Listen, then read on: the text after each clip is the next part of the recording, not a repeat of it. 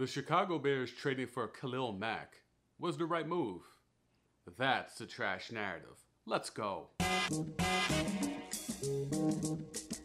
Al primero de mayo.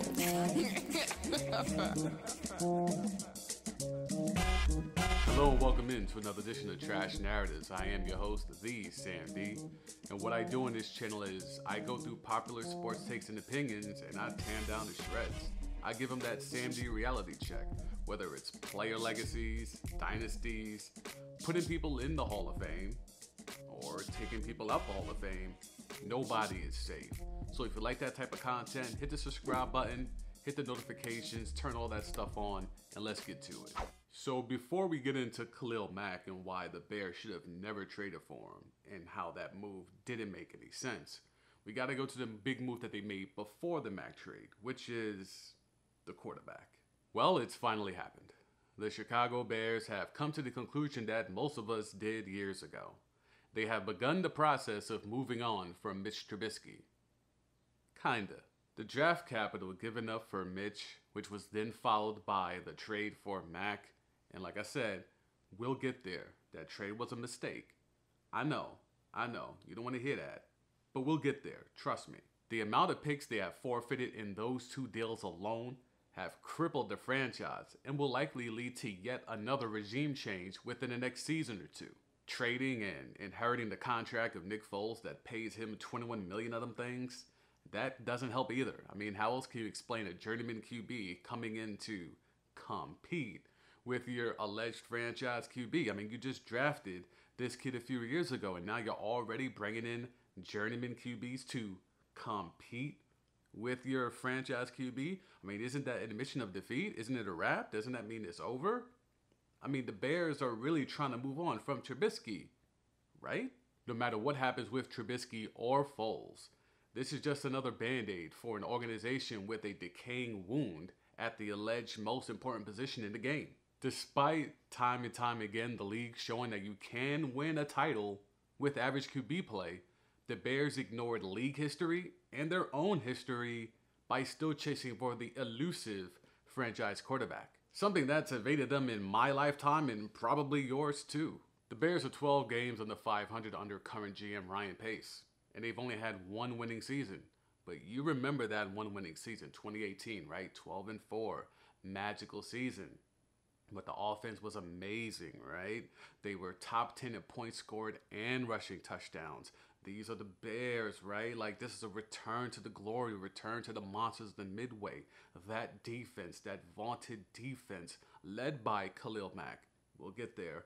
Led by elite superstar Khalil Mack. They led the league in six different categories. This was a stout defense. But how did that season end up? You know it. Double doink. Double doink. They went through all of that 12 and 4, all these points scored, all these rushing touchdowns.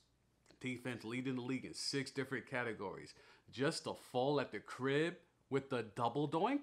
I mean, you double doink at the crib, and Bears fans were despondent. They were a mess. They couldn't believe it. How could a team this good have a kicker that bad? Well, when you draft Kevin White and Leonard Floyd in the first round before we even get to Mazda Mitch, how the hell do you expect him to be able to find a good kicker?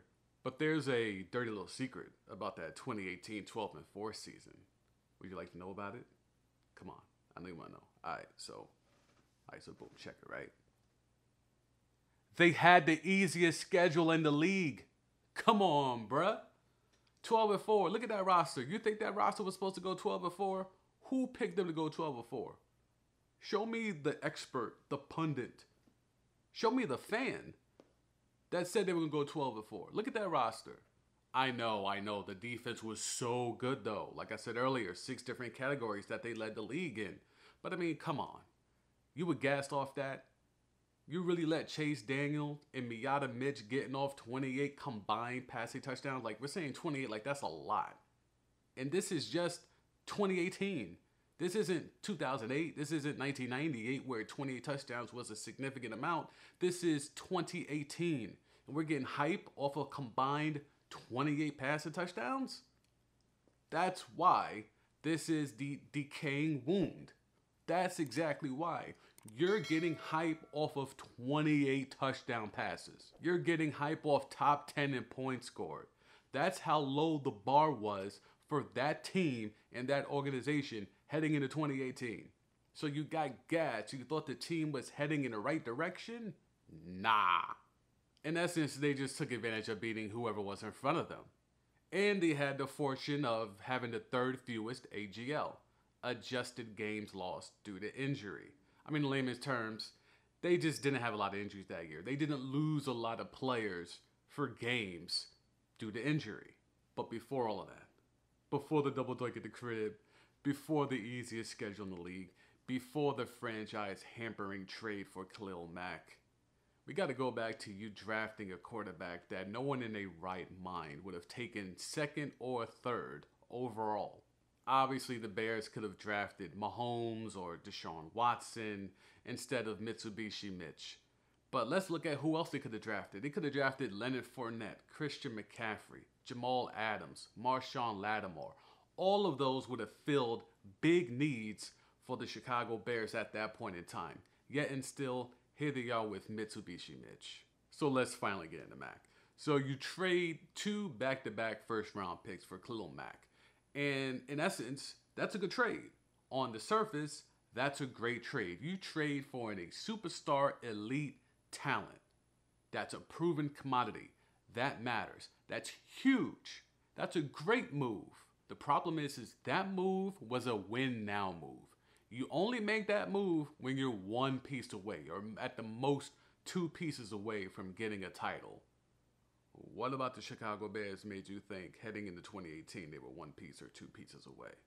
You don't make a win now move if you haven't hit on the QB. And there was no evidence whatsoever that the Bears actually hit on the QB pick. So that trade only makes sense if you knew you hit on the QB. But there was no evidence, and don't give me that Pro Bowl stuff, because he was like the fifth alternate. Like, don't give me that. Like, they had to pull him off of vacation for him to go replace someone in the Pro Bowl. So it was not like he earned it off of merit. So don't give me that. But what we're talking about is there was no proven evidence that Mini Cooper Mitch was ready, was ready to win anything. The Bears just had to know that they hit on the QB, right? Like, that's the only thing I can like try to explain and shoot them some bail is that they had to assume that they hit on the quarterback. But what in the hell did anyone see at Halas Hall that made them think that Mini Cooper Mitch was that dude at quarterback? So you risk it all, like Mello looking at Riri that one night and trading for Khalil Mack because you thought you had the organization's first franchise QB. And all you got to show for it is a double doink? You only do that kind of a move for a can't miss dude.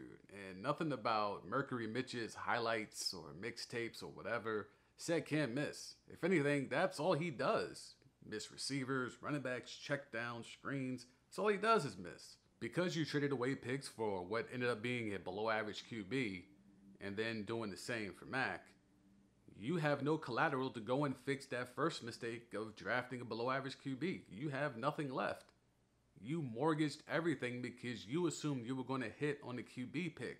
That's why now you're stuck with the journeyman QBs like Mike Glennon and Nick Foles. They could have had Mahomes or Watson. That would have been set at QB for a decade, right? They also, even if they didn't want to go that route, they could have had Fournette or McCaffrey at running back. They could have had Jamal Adams, Marshon Lattimore for the secondary, but they did none of that. But yet and still, the Khalil Mack trade was worse for them than even screwing and tricking that off. Because the Khalil Mack trade should have only been made if you knew you hit on the QB move, which there was no evidence that they did, which mean you both knew that they didn't hit on that move. So the fact that you went and doubled down in spite of knowing you didn't hit on the QB move was the worst thing that ever happened to the Bears. So it's no fault of Khalil Mack. He didn't do it, but it's the fact that the organization, the GM, thought they hit on the QB pick with no evidence that really put the Chicago Bears in the spot they're in now. So it's not Khalil Mack, it's the Khalil Mack trade that put the Bears where they're at now. Because they can't erase the mistake of trading up one spot and foraging all of that draft collateral to go get Mitsubishi Mitch.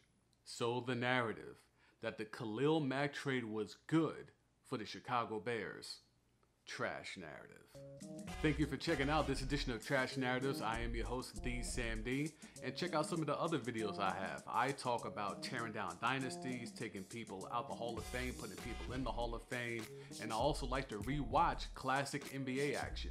So if you're into that type of content, hit the subscribe button, hit the like button, turn on the notifications, and make sure to watch the videos on the end card. I'm Thee Sam D. Peace.